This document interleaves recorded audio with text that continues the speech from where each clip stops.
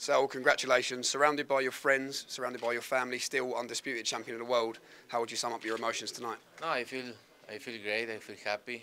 I did my best out there, and and and I'm I'm happy. You're a very determined man in the ring, but what is it about your role as a father that motivates you to be the best version of yourself every single day?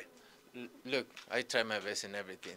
I try my best like, as a father too, and and, and I think uh, you need to be example for, for them, and I think I'm I'm a really good example for, for them. You certainly are. You said in the ring that you grew from defeat. In what ways has that Dimitri Bivol fight changed your outlook on life in general? Look, I, I, I, I know what things I need to uh, I don't need to do right. I have my I need to surgery in my hand, so I have the issues uh, for that fight. So um, you learn from everything, loss, win from everything, and I I learn a lot. You want you wanted to end this epic trilogy with Gennady Golovkin inside the distance tonight. Talk to me about the fight and, and how it compared to how you imagined it would this evening. No, he's a great fighter. He's a great fighter, top fighter. He's strong, he's smart, and I know it's gonna be a, a good fight too.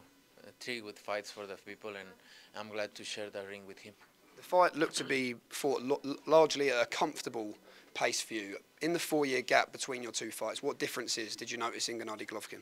Can I? Can you repeat the question, please? The, the fight looked to be largely fought at a comfortable pace for you. Although Golovkin did finish strongly, you looked comfortable in the ring. What differences did you notice in him this evening? No, I, f- I feel good. I feel uh, fast. I feel strong, and I think I did a really good, good, good job in the, especially in eight, nine rounds. And then he he he coming strong in the later rounds, but uh, uh, uh, I'm there too. So uh, I'm happy with my what I did in the ring.